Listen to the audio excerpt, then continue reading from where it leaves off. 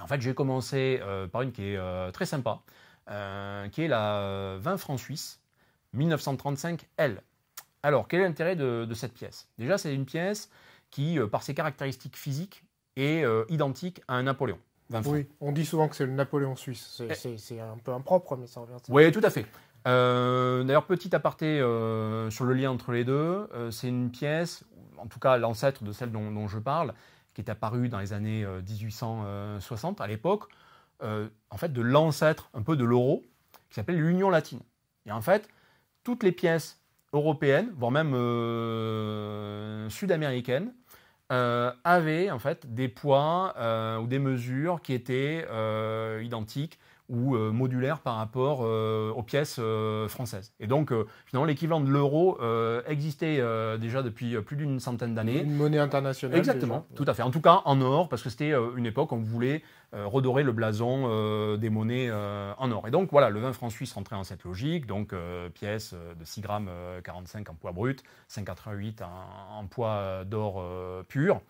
et l'intérêt de cette pièce, et pourquoi je, je, fais un focus sur la 1935L, c'est qu'elle a tout simplement été frappée après sa démonétisation. Donc, il se passe quoi? On va parler fisc là. Eh oui, on va parler de quoi? On va parler de la nature de cette pièce. Et cette pièce, en fait, ne rentre pas dans la catégorie métaux précieux. Elle rentre dans la catégorie jetons.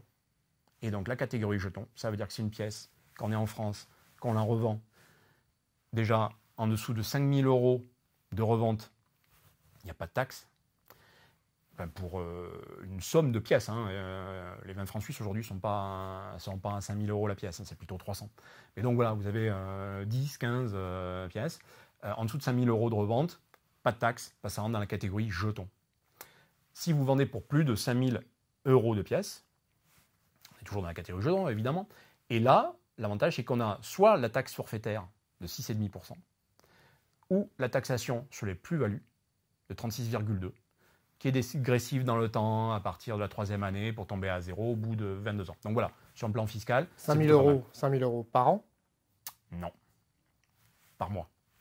Alors ça, nous, c'est euh, un conseil que l'on donne à nos clients, parce que si on prend strictement la loi, ce serait à interpréter par transaction.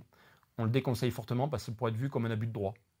Donc ce que nous, on conseille, et je ne vais pas rentrer dans le détail de, la raison euh, pourquoi euh, les fameux 30 jours, mais euh, il y, a quand même des, vrais euh, fondamentaux là-dessus.